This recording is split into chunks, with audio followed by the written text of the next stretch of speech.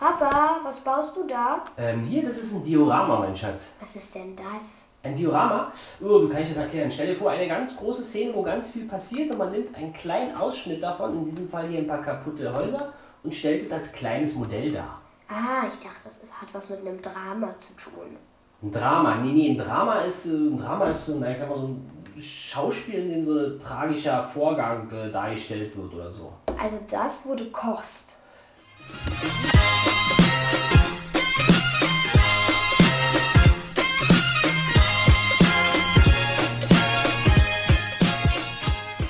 Tag ist das bin ich grüße euch. Ähm, ja, wie der eine oder andere vielleicht bemerkt, ist Schloss Neuschwanstein nicht mehr hier, was unter anderem bedeuten kann, dass ich es fertig gebaut habe. Äh, nein, ich habe es einfach nur weggeräumt, denn wir brauchen Platz. Wir brauchen viel Platz. Und zwar, oh, Sekunde.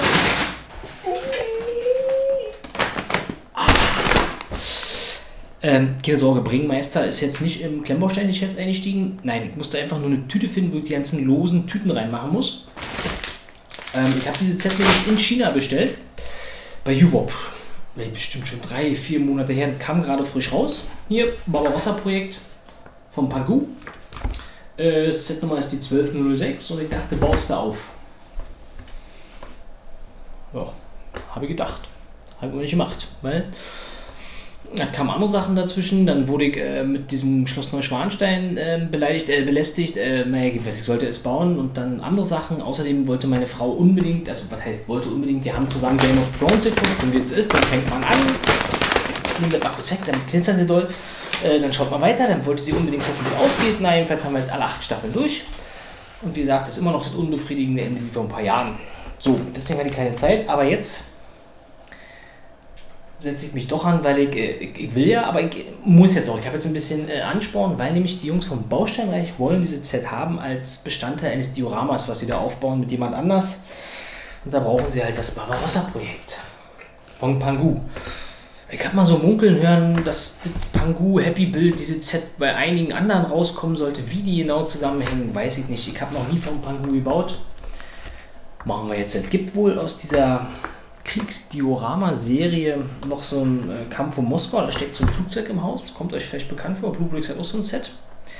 Dann gibt es hier noch einmal so eine Landung. Ich tippe mal Landung in der Normandie. Ja, die Sets gibt es noch. Und äh, ich habe aber die hier. Genau, 1207 und die 1208. Oh, gibt sogar noch die 12009. Sieht auch aus wie so ein Häuserkampf, vielleicht Berlin oder sonst wo. Ähm, ja, Unternehmen Barbarossa. Wir haben hier so ein bisschen Diorama. Und es gibt drei Fahrzeuge dazu. Ich tippe mal so ein. Ich blende euch jetzt hier so ein Bild von diesem Deckblatt ein, damit ihr auch wisst, wovon ich rede. Ich tippe mal auf ein Sonder-Kfz, dann so ein KV1, KV2, belehrt mich gerne und, und ein Stück. Ja, ein bisschen Häuser, ein bisschen Kämpfen. Äh, ja, ich habe mal reingeguckt. Wir haben hier ein paar Aufkleber. Jetzt nicht wildet, nicht aufregend. Zehn Bauabschnitte und ansonsten, wie gesagt, Ihr schlagt auf, Pangudi-Anleitung und dann geht es direkt los mit Bauoption 1 los. Bam! Bam! Insgesamt gibt es wohl 10. Und dann, wie ich gesehen habe, gibt es hier, was doch nicht immer so äh, ähm, na Standard ist bei den chinesischen Klemmbausteinherstellern, Verwurstern, äh, gibt hier eine Teileliste. Finde ich ziemlich cool. Die gefällt mir. Sind interessante Farben dabei. Ansonsten arbeiten die mit Ausgrauen. So wie ich geguckt habe, wird in den letzten Bauabschnitten werden die Fahrzeuge gebaut. Und dann sind wir fertig. Ich habe da gerade gesehen, es gibt wohl zwei Teile dran. Der eine aussieht aus wie von Lego und der andere sieht aus wie von. Ich weiß es nicht. Wir schauen einfach mal. Äh, ja, wie gesagt, das Set kriegt ihr überall. Ihr kriegt doch in Deutschland mit Karton. Ja, der Karton, viel kann ich euch verraten. Im Bauscheinreich stehen beide Kartons, einmal also Barbarossa und Moskau. Die sehen genauso aus wie diese Deckblatt und sind keine besonders hochwertigen Kartons. Das, das ähm, da haben die auch ein bisschen gemeckert, weil die sehr zart und dünn sind und halt mit Z von oben bis unten diese Kartons vollstopft sind hier mit diesen wirklich massig Tüten. Achso, ja, warum sind das so viele massig Tüten? 3650 Pieces plus. bei den Chinesen kann man immer so plus minus 100 rechnen. Die sind da sehr wild. Äh, sie sagen, 14 Ages musst du alt sein, dann kannst du zusammenbauen. Tja, bin ich. Ich habe Lust, ich werde zusammenbauen. Ich hoffe, ich schaffe das in der folgenden Zeit, damit ihr ihr Diorama bauen könnt. Und, ähm, aber ich werde es vorher noch vergleichen mit ähm, dem Blu-ray-Set Kampf in Berlin oder Schlacht in Berlin, was ich auch noch oben habe und was leider einstaubt, weil ich einfach keine so eine große Vitrine habe. Gut, genug gesprochen, genug gequatscht, genug geredet. Wir fangen an mit Bohrabschnitt 1. Ähm, ich würde sagen, da wir nicht so viel Zeit haben, ne? nur kein Druck, nur kein Druck, ähm, baue hier vielleicht zwei Bohrabschnitte. Dann schauen wir rein, dann kann ich euch was über die Teilequalität sagen. So wie ich sehe, baue ich hier sowieso erstmal so langweilig die Grundplatte. Jetzt immer so dieser schwere Einstieg. Alter Schwede, hier passiert ja gar nichts. Hier passiert. Ja, gibt viel mit dieser langweiligen Grund. Na egal. Wie sagt man äh, hier? Klage nicht, kämpfe. Darum lege ich jetzt los. Aufkleber kommen hier erstmal rein. Vielleicht denke ich auch daran, vorher ein Bild zu machen, bevor ich sie aufklebe, um sie euch in die Kamera zu halten. Hier habe ich auch meine Kaffeetasse. Hier ich meine Teetasse. Ich bin vorbereitet. Ich habe Spaß. Ich habe Lust. Let's go. Bauabschnitt 1 und 2 stehen hier vor euch und ähm, ich muss sagen, es, es wird groß. Es wird sehr, sehr groß. Ähm, Teilequalität äh, ist äh, fantastisch. Wie gesagt, Bauabschnitt 1 und 2 ließen sich einmal frei bauen. Bauabschnitt 1 sind nur Plates. Nur Plates. Nichts anderes. Kein Brick, gar nichts. Nur Plates. Vielleicht mal ein paar Wedge Plates. Aber ansonsten haut ihr das hier zusammen. Das heißt, immer schön Noppen zählen. Ich habe mich zweimal verzählt, durfte wieder auseinandernehmen, ging aber auch wunderbar zusammen. Ich sag mal so, wenn ihr den Mold King Hammer habt, könnt ihr ihn benutzen. Aber wenn ihr auch eine gerade, ebene Fläche habt, dann könnt ihr die auch einfach zusammendrücken und das funktioniert. Und dann Bohrabschnitt 2 ist dann praktisch, fangt ihr an, die erste Fassade zu bauen. Hier haben wir auch schon die erste Tür, die so ein bisschen, ich sag mal, aus den Angeln fliegt. Ich zeige euch das mal, ich drehe das mal kurz hier, weil so wird dieses Diorama vor uns stehen. Hier ist praktisch die Häuserfront, die schon ein bisschen ähm, äh, kaputt gekämpft ist. Alle Teile waren da, ein Teil ist übrig geblieben, hier so ein äh, Slope. Das werde ich hier einfach mit ranstecken. Ich habe geguckt, ich habe es nicht vergessen. Ähm, falls es jetzt mit dem Licht ein bisschen komisch aussieht, ähm, ich musste meine Lampe tauschen, beziehungsweise meinen Strahler, meinen Spot, weil der, den ich habe, der hatte so eine Kühlung drin. Und der hat bei jedes Mal beim Sound dieses drin gehabt. Deswegen tausche ich jetzt erstmal die Lampe aus und äh, stehe jetzt hier gerade mit so einem Ringlicht, halte es in der Hand, stehe auf einem Bein, trinke, singe Tralala und äh, präsentiere euch das äh, Set. Also wenn es hier ein bisschen lichttechnisch wackelt, dann ist das äh, gewollt. Das ist praktisch ein Effekt, den ich hier eingebaut habe. Ja, ansonsten, ich sag mal, Bauoption 1 und 2, ich bin schwerst begeistert, freue mich jetzt aufs Weiterbauen und ich denke mal, ich werde jetzt noch ähm, 3 und 4 bauen. Das spielt sich alles hier hinten ab. Wir bauen jetzt praktisch diese Gebäude hier weiter nach hinten. Moment. Ähm, hier. Da bauen wir jetzt weiter. Und ähm, dann schalte ich wieder rein und wir gucken uns mal an. Und ich hoffe, dass der Bauspaß so weitergeht. Bauabschnitt 3, 4 und 5 sind fertig. Ähm, ja, und Pangu gönnt uns hier auch nur zwei Noppen Spieltiefe. Ne? Lego wird es ja auch immer weniger und auch Pangu zieht bei diesem Trend mit in ihren Gebäuden beziehungsweise keine Spieltiefe mehr. Ja, unmöglich. Ich werde den Bau hier abbrechen, weil das kann nicht sein. Ich bin enttäuscht. Spaß beiseite. Pangu wollte uns hier eine pa äh, Passade, eine Fassade präsentieren äh, und das haben sie auch gemacht. Die haben sie hier schön an den Rand geklatscht. Die ist äh, drei äh, Noppen tief und sie macht genau das, was sie soll. Sie sieht einfach ziemlich geil aus in diesem Diorama, finde ich. Sie lässt sich auch sehr, sehr gut bauen. Bautechniken sind super. Teilequalität ist super. Das baut sich wirklich 1a Knusperli weg. Äh, ihr braucht dafür den Bauschritt, äh, Bauabschnitt 3 und 4. Dann baut ihr noch diesen Baum, der jetzt nicht der schönste ist, aber sich schön bauen lässt. Ja? Also ihr baut hier ein paar Roundbricks, dann kommen die Blätter, wieder ein Roundbrick, Blätter. Also ihr werdet an der Hand durchgeführt und äh, könnt praktisch auch als, äh, als Nicht-Botaniker wunderbar hier einen Baum begrünen. Das ist super. Ähm, Bauabschnitt 5 ist dann hier nur noch ähm, der Vorplatz oder die Straße. Ihr arbeitet dann nur mit Fliesen und Plates und äh, dann wird aufgenoppt und aufgenoppt und aufgenoppt.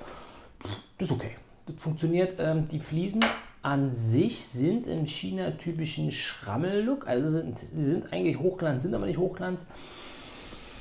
Hey, wir bauen hier ein zweites Weltkriegsdiorama. Hier fällt es nicht auf, stört nicht. Also ich habe damit sowieso nie ein großes Problem. Ich finde jetzt für diesen Preis auch vollkommen in Ordnung, dass manche Fliesen so aussehen. Ich erwarte da jetzt keinen Hochglanz. Aber ich wollte es gesagt haben, für Leute, denen es wichtig ist, dass die Fliesen hier nicht perfekt sind. Äh, Gibt es sonst noch irgendwas zu sagen? Äh, ich habe hier so nochmal zum Größenvergleich so eine kleine hässliche Minifigur reingestellt. Die ist von Lego in so einem alternativen Set funktioniert. Also hat sich kein schwarzes Loch aufgetan. Ich lebe noch, ich kann weiterbauen. Ich merke gerade, ich habe ja nicht richtig zugedrückt.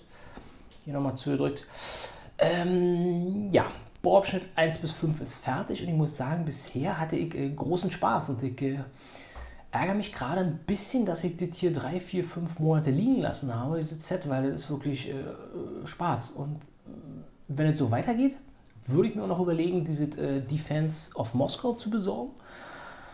Das ist ja da, das habe ich nicht genommen, weil dieses Flugzeug im Dach steckt. Das fand ich jetzt ein bisschen albern, aber wir gucken mal. Auf jeden Fall ist es, ist einfach groß und ich glaube, ich würde fast sagen, dass es am Ende besser aussieht als das von Berlin. Das von Blue Bricks, Schlacht von Berlin, werde ich dann holen. Ich denke mal, ich werde beide auf den Tisch kriegen, können wir vergleichen. Und dann könnt ihr im Nachgang mal sagen, äh, welches ihr besser findet. Also hier bisher Bauabschnitt 1 bis 5, erste Sahne. Ich werde mich jetzt ransetzen, weiterbauen. Ich denke mal zwei Bauabschnitte. Wir bauen jetzt hier vorne ein bisschen den Vorplatz. Hier kommt noch so ein Gebäude hin, hier kommt noch so ein kleiner äh, Park hin. Und die letzten drei Bauabschnitte, äh, sie, nee, 8, 9 und 10 sind da die Fahrzeuge. Also, ich will euch nicht weiter äh, aufhalten und ähm, ich baue jetzt weiter. Fertig sind die Bauschritte 6 und 7. Wir bauen einmal die Gebäude hier und wir bauen hier diesen kleinen Vorplatz mit Springbrunnen, kleinen Tor, Lampe äh, ja, und hier hinten so eine Art äh, Reste einer Mauer und dieses etwas ähm, sehr, oh, Moment, es ist fest, äh, überdimensionierte Maschinenkanonengewehr Rabumsding. Also ähm, er wirkt schon echt mächtig und sieht im Vergleich zu dem Rest hier auch äh, ziemlich groß aus. Wir werden nachher mal einen Panzer daneben stellen, also das passt von den Proportionen nicht. Ansonsten habe ich hier nochmal meine äh, berühmte kleine hässliche Minifigur die Ilona, wir nennen sie einfach die Ilona, wobei der Name Ilona nicht hässlich ist, nur sie. Aber ich wollte jetzt einfach einen Namen geben, damit wir wissen, wer hier ist. Äh, ja, äh, Teile waren wieder alle da. Bauanleitung war super. Pff, ich kann nicht weiter negativ berichten. Wenn ich jetzt meckern würde, würde ich nochmal sagen, ja, eine Anleitung vielleicht schwarz, dunkelbraun und blau oder muss man nochmal genau hingucken, aber das ist kein Problem. Brille aufgesetzt, Licht angemacht, dann ging das auch. Ähm, jetzt bauen wir, machen wir mal die Anleitung, jetzt werden die drei Fahrzeuge nochmal gebaut. Wir fangen hier unten mit dem Sonder-Kfz an, dann kommt das Stück und zum Schluss bauen wir diesen russischen Gigantenpanzer. Und dann sind wir auch schon fertig. Ähm, nehmen wir mal das äh, leidige Thema Krieg raus. Äh, da fällt mir übrigens ein, wusstet ihr, dass der 8. Mai 1945 ein Dienstag war? Tja, war wohl eine kurze Arbeitswoche dann. Ähm, ja, wenn wir dieses Thema mal ausgrenzen hier, die drei Panzer wegnehmen und jetzt vielleicht auch noch diese riesige Geschütz hier zur Seite nehmen, ist es doch ein wunderbares Diorama für Insight. Wenn ihr zum Beispiel Last of Us, Last of Us nachspielen wollt, äh, wie heißt es hier, nicht Deathman Walking, sondern Walking Death, hier mit diesen äh, komischen, verrückten Zombies, geht wunderbar. Oder einfach einen Stadtteil von Hoyerswerda nachstellen wollt, funktioniert hier wunderbar. Äh, 1A. Ähm, dann baue ich jetzt die Fahrzeuge, stelle die rein, habe mir überlegt, werde dann hier noch irgendwo daneben in einer riesigen Perspektive das Berlin-Diorama von Blue Bricks dazu packen. Dann können wir das mal vergleichen vom Aussehen, Teile, Zahl und Preis. Ähm, ich habe mal ausgerechnet, hier seid ihr bei, bei 180 Euro und äh, Moment, wie viele? 3650 Teile, 5 äh, Cent. Ähm, und hier sind, äh, ich tippe mal, es sind Gobrix-Teile. Ich werde hier mal so was einblenden. Vielleicht kann ja Skolder uns sagen, ob das Gobrix ist. Ich vermute es fast, aber wenn auch nicht, ist das eine hervorragende Steinequalität. Also da würde ich sagen, 5 Cent lohnt sich auf jeden Fall. Pre also Preis-Leistungs-Verhältnis ist hier super. Ne? Ups, jetzt bin ich wieder mit meinem dicken Fuß hier gegengekommen. Oh, Erdbeben. Äh, ja, Entschuldigung. Ähm, ich baue jetzt weiter und dann die drei Fahrzeuge fertig und dann sehen wir uns zum großen Fazit. Äh, Habe ich Bock drauf. Achso, weil ich noch sagen wollte, warum müssen eigentlich immer alle Dächer blau sein? Ich, ich kenne ganz wenige Häuser mit blauen Dächern. Ich hätte mich über so ein einfach Ziegelrot gefreut. Das wäre schick gewesen. Gut, ich baue weiter. Das Pangu-Panorama hier, Barbarossa, ist fertig und es ist riesig und gewaltig. Ähm, alle Teile waren da, es sind ein paar übrig geblieben. Das ist nicht weltbewegend. Ähm, ja, Spaß hat sie gemacht. Äh, in den Bauabschnitten 8, 9 und 10 baut er jeweils einmal dieses Sonder-Kfz hier, was so ein bisschen gedrungen aussieht, hier vorne mit einem Geschütz. Dann aller Wahrscheinlichkeit diesen Stück 3 hier, dieses Geschütz. Und dann diesen äh, riesigen russigen Panzer. Ist das jetzt ein KV-1 oder ist das ein anderer Panzer? Ich weiß es nicht. Ähm, die Aufkleber am Panzer, hier am russischen Panzer, sowjetischen Panzer, damals sowjetischen Panzer, äh, habe ich ja angebracht. Die gehen über mehrere Fliesen, aber ich dachte mir, gönnst du dir heute mal, machst die rauf. Äh, dann gibt es noch Aufkleber hier äh, an diesem Sonderkfz, das Balkenkreuz und an diesem Panzer hier auch ein kleines Balkenkreuz und eine 02. Äh, übrig geblieben ist noch ein Aufkleber. Ich blende hier mal ein Foto ein und ihr merkt schon, hä? Closed? Äh, keine Ahnung, also wir sind hier im Unternehmen Barbarossa. Ne? 22. Juni 1941 ging das los, äh, Russland erobern. Äh, Sowjetunion damals, Russland. Russland heute, Sowjetunion damals. Ähm, ich glaube nicht, dass die an ihren äh, Geschäften englischsprachige ähm, Offen- oder Zuschilder hatten. Also gehe ich jetzt mal ins Fest auf. Keine Ahnung, ob es jetzt im äh, Lied Lance hier, Akt oder Lance Lied äh, von 1941 jetzt auch äh, Cafés nach äh, in die Sowjetunion geliefert wurden, aber ich habe den Aufkleber mal nicht angemacht. Wenn ihr jetzt sagt, ey, pass auf, das war in, in russischen, äh, sowjetischen Städten damals gang und gäbe, das in Englisch ranzuschreiben, dann mache ich den Aufkleber noch ran. Ansonsten, wenn wir jetzt, wie gesagt, diesen oh, echt gewaltigen Panzer, dieses gewaltige Sturmgeschütz und den etwas gedrungenen, das gedrungene Sonderkfz entfernen, dann entfernen wir hier auch noch diese überdimensionierte, riesige Peng-Peng-Kanone. Also die finde ich wirklich nicht hübsch.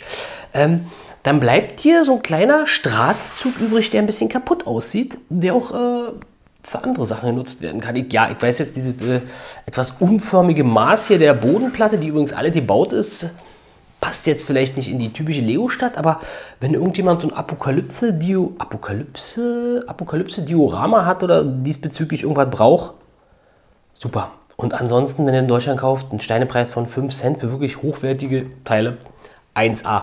Ihr könnt hier natürlich auch äh, äh, andere Fahrzeuge reinstellen. Ich komme jetzt gerade nicht ran, zum Beispiel zivile Fahrzeuge sehe ich da hinten, äh, aber komme ich jetzt nicht ran und möchte euch jetzt nicht verlassen. Äh, könnt ihr doch anders nutzen. Ansonsten kriegt ihr hier wirklich für das Geld, was die boten. Teiletechnisch, die Anleitung ist super, die Qualität der Bausteine ist super.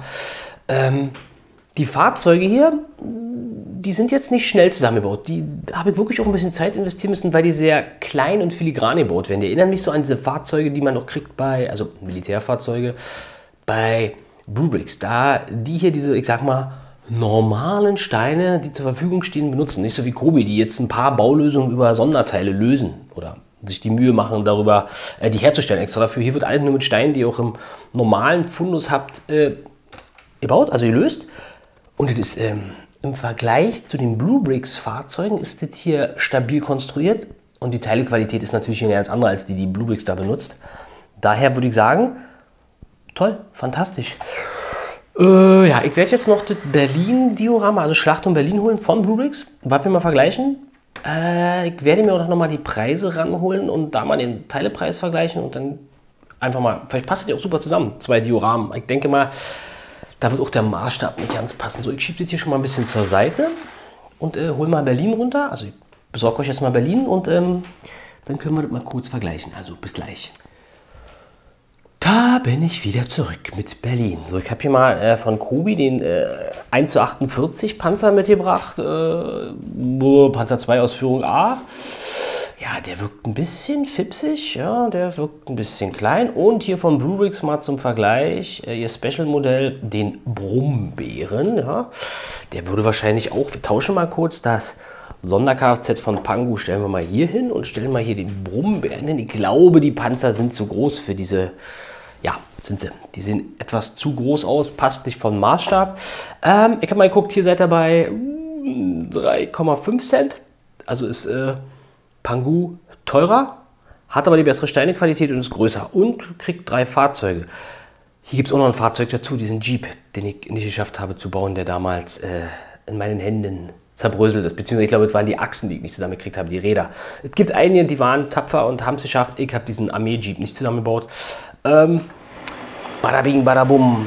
Hier ist natürlich die Rückseite von Berlin äh, ein bisschen detaillierter. Hier hinten die Fassade brauche ich nicht umdrehen, da ist, ist nichts, ist Fassade. Und hier haben wir bloß einen kaputten Tisch, ein kaputtes Regal, Entschuldigung, bin ein bisschen erkältet.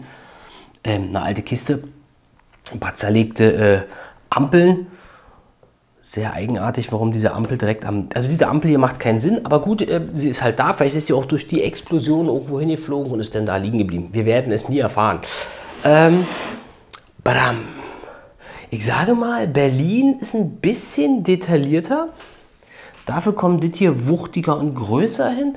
Also ich, ich würde sagen plus minus null beide, wenn ich es jetzt vergleiche. Ich Ich habe ja auch beide gebaut. Also das hier ist ein bisschen detaillierter und natürlich auch günstiger. Dafür ist das hier ein bisschen wuchtiger und die Teilequalität eindeutig besser und schöner. Ja, passen die jetzt, aber die passen, die passen vom Maßstab nicht. Ne? Hier sind die Laternen, warte mal, wir können ja mal gucken. Oh nein, bei weitem nicht. Also wir nehmen hier mal eine, so eine Berlin-Laterne. Zack.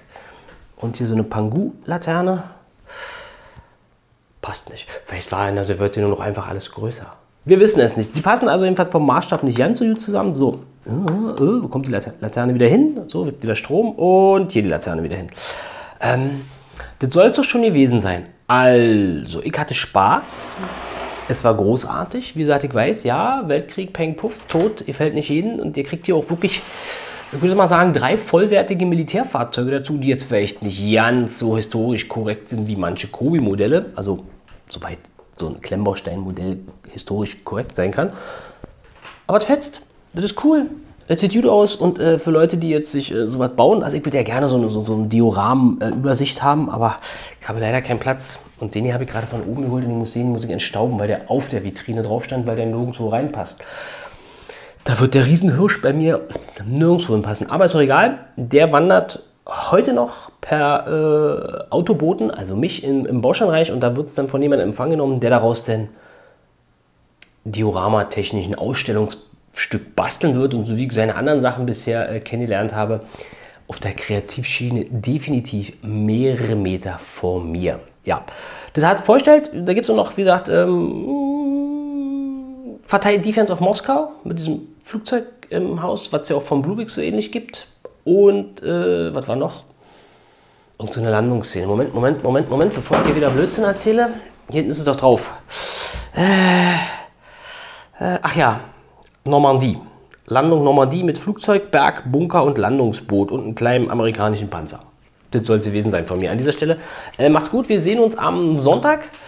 Aller Wahrscheinlichkeit äh, mit der Expertin. Die hat nämlich das Feuerwehrrettungsboot, die war jetzt krank und zu Hause und hatte Langeweile, hat gesagt, pass auf, habe ich zu ihr gesagt, pass auf, such dir ein Set auf und sie suchte sich diese verrückte Sing-Bau-Set äh, Weihnachts, nicht Weihnachts, ähm, Feuerwehrrettungsboot aus, was uns der Konrad, der Baubär, mal zugeschickt hat, kurz vor Weihnachten, hat sie jetzt aufgebaut. Ich sag mal so, ne? Singbau hat einige Überraschungen parat. Ansonsten wartet, ich wünsche euch was, ähm, bis demnächst.